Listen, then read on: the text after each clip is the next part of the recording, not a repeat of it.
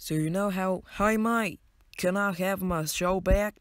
Nobody has taken it from you. You just haven't made any episodes lately.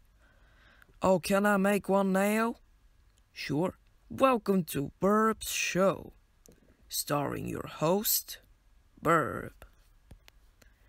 So, if you remember from my first episode of my show, I decided to tell you a story from my childhood. So, now I'm to tell some more.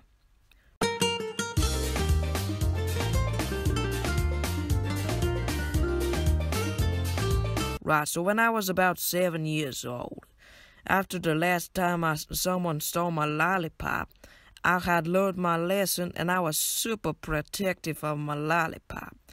So, so when I see an ice cream truck pass by, I go up to it and the teller goes, Hey, little fella, what can I do for you?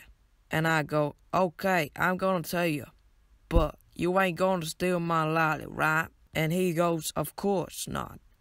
I got I got an entire truck full of ice cream. Why would I steal your nasty lollipop? Anyway, what you gonna order?